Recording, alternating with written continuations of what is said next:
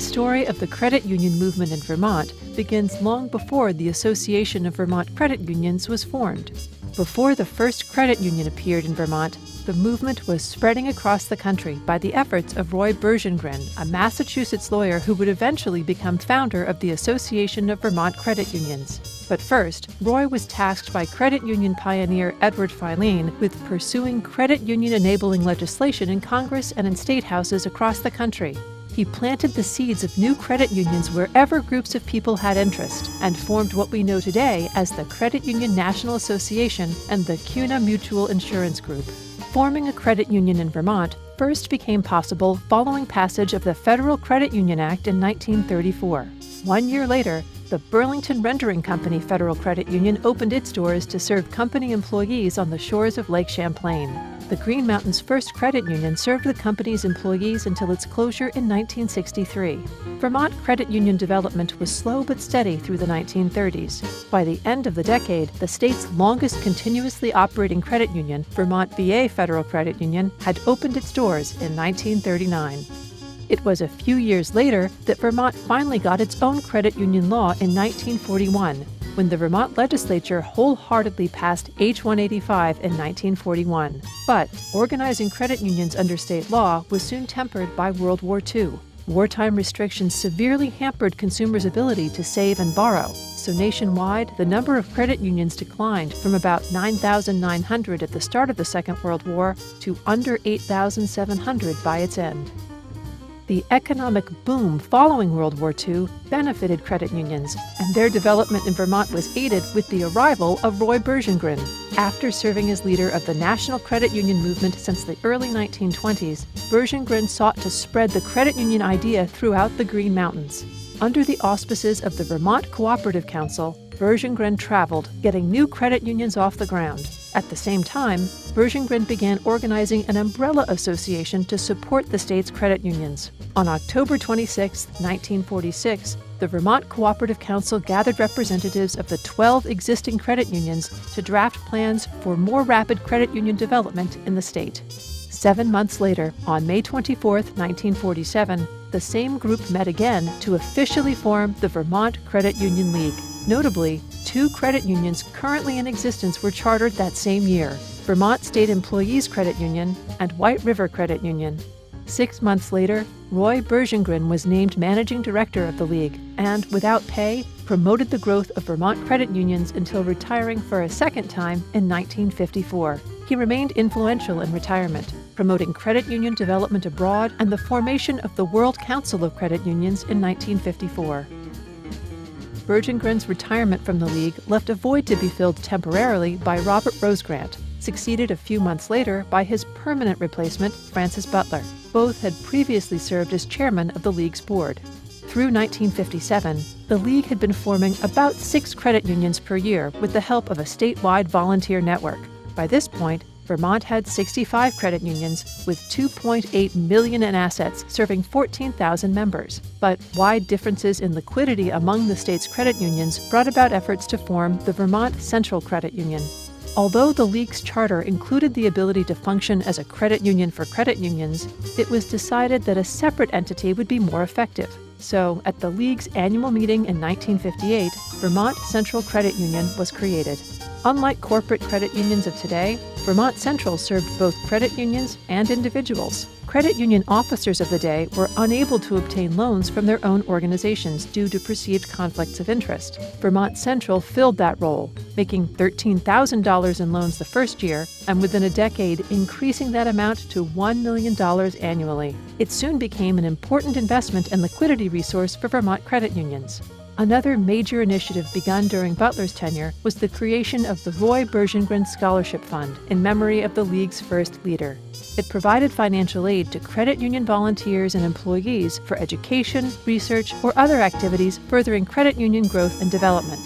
In 1959, the League's managing director was made a full time position. Butler served in that capacity briefly before his passing in 1960. By then, the number of Vermont credit union members had almost doubled, and assets of the state's movement were breaking $5.4 million. Butler's successor in 1960 was already a leading credit union advocate. Bob Rosgrant had served the movement in a variety of roles and was profoundly committed to credit union ideals. During his time as managing director, the League created a standardized handbook for credit unions, which became essential to their volunteers. Regular updating of the handbook was the role of the League's Volunteer Education Committee. In 1962, the League hosted its first Fall Institute, a day long program of workshops and presentations providing volunteers and staff with vital training. The annual event became very popular as a primary source of education for Vermont credit union volunteers for many years bankers of the 60s lobbied for the restriction of credit unions at both the federal and state levels. Vermont bankers responded to a 1962 call by the American Bankers Association to oppose a league advanced bill in the Vermont State House. Then, in 1965, bankers again lobbied hard against the League's rewrite of Vermont credit union laws, but passage by the legislature was a resounding victory for Vermont credit unions. In 1968, leadership of the League was handed over to Charles Howe. Like Rosgrant, Charlie Howe had extensive credit union experience before becoming managing director. While employed as a state employee, he served as volunteer board chair of the Vermont State Employees Credit Union in the 50s and had been chair of the League's board since 1962. Until 1969, credit union expansion had been driven mainly by chartering new credit unions, whose number peaked nationally at almost 24,000 that year. Meanwhile, Vermont credit union members were on the decline, with 77 in 1969 and 73 in 1982. But membership grew to over 94,000. The movement was transitioning from many smaller credit unions to fewer, larger ones. The 70s also saw legislative developments that, combined with advances in technology, radically changed the way Vermont credit unions conducted business. Banker opposition to credit unions now intensified, especially when the Vermont legislature declared credit unions exempt from sales tax in 1970. And in 1978, bankers were again unsuccessful in seeking a federal tax on credit unions in the face of a nationwide credit union advocacy campaign. But prior bank versus credit union legislative battles paled in comparison to the battle to provide members with share draft accounts in the face of banker opposition. In 1977, the National Credit Union Administration authorized credit unions to enter the checking account arena with share drafts. New England IBM Employees Federal Credit Union was first in Vermont to provide members with share draft accounts, but it was short lived. Bankers challenged credit unions' right to checking accounts in federal court, and the judge ordered them suspended. In response, Vermont credit unions successfully lobbied for passage of Vermont legislation ensuring share draft privileges for state chartered credit unions. Simultaneously, they participated in a national Save Our Share Drafts grassroots campaign in support of credit union checking accounts. On the heels of over 100,000 member letters to Congress, share drafts were permanently enacted into law by Congress in 1980, the same year that the credit union pioneering share drafts in Vermont installed the state's very first credit union owned automated teller machine. Following that success, Charlie Howe died unexpectedly in 1982, leaving a much different Vermont credit union movement than what he inherited in 1969. By the end of the decade, the League had added several staff members, and in 1980 elected its first female board chair, Wanda Barrell. When Charlie Howe died at the helm of the League at age 72, Joe Bergeron had been his assistant for four years. So the transition went smoothly when the League board named him president of the League one month later in March of 1982. Up to this point, all chief executives of the League had assumed leadership later in life, following lengthy careers. But now, at the age of 25, Bergeron became the youngest person ever assuming the presidency of any state credit union league. As Howe's assistant, Bergeron had served as consultant and troubleshooter for credit unions, led several league initiatives, and was Vermont's first delegate to CUNA's National Youth Involvement Board. Given the breadth of his involvement with Howe, Bergeron hit the ground running with ambitious projects in his early years as league president.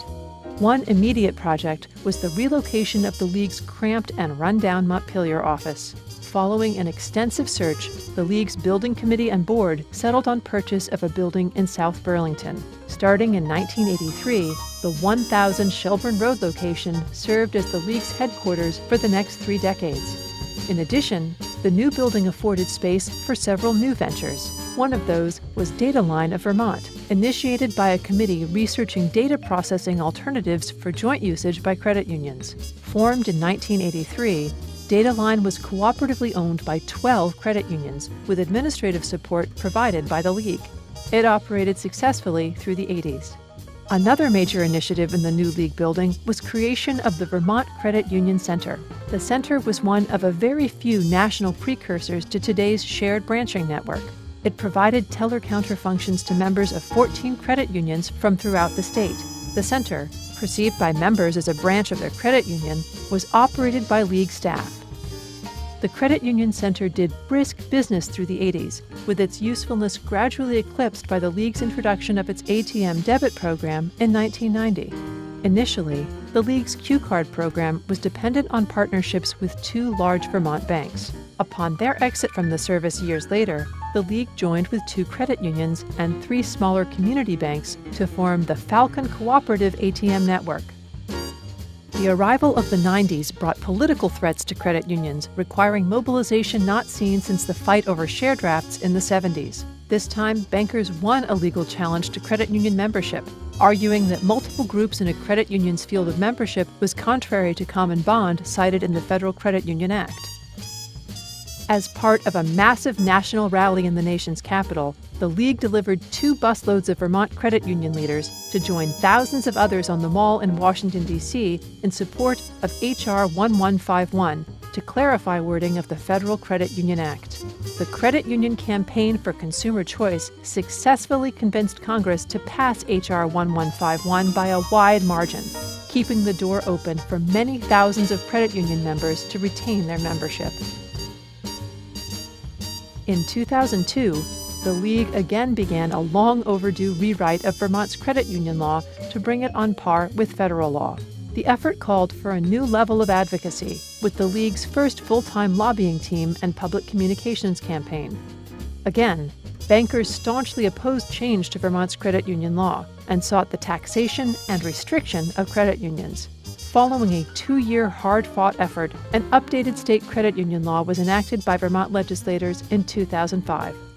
In 2003, the League introduced its indirect lending program, allowing members to get credit union car loans without leaving dealer showrooms. Today, 140 Vermont dealers participate, and in aggregate, credit unions capture more car loan business from dealers than anyone else.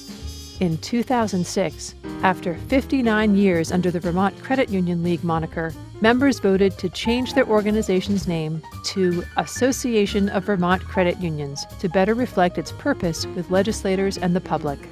Also in 2006, the association entered the international scene with a partnership with Peruvian credit unions. Bergeron led a group of representatives on the initial visit to Peru in 2007, where a partnership agreement was executed. Subsequently, numerous exchange visits were made, and association staff provided aid on Peruvian efforts to develop an ATM network, shared branching, deposit insurance, and even testimony before Peruvian legislators on credit union taxation.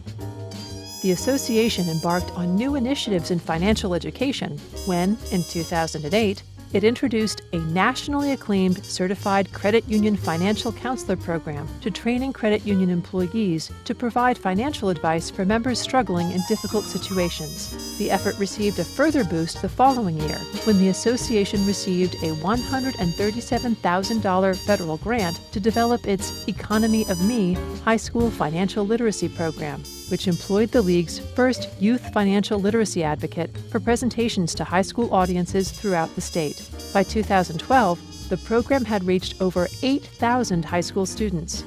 It was also in 2008 that the association introduced shared branching, allowing members to use branch locations of participating credit unions in all 50 states as if they were in their own credit union location.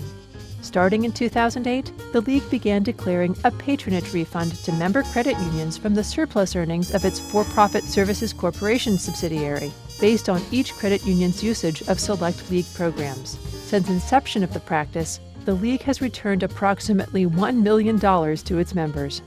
Following 30 years in the same South Burlington location, in 2012, the association relocated to its current office location in Colchester. The former Vermont Credit Union Center was demolished to make way for a new branch office building owned by New England Federal Credit Union. 2014 once again brought a challenge from bankers in the Vermont State House.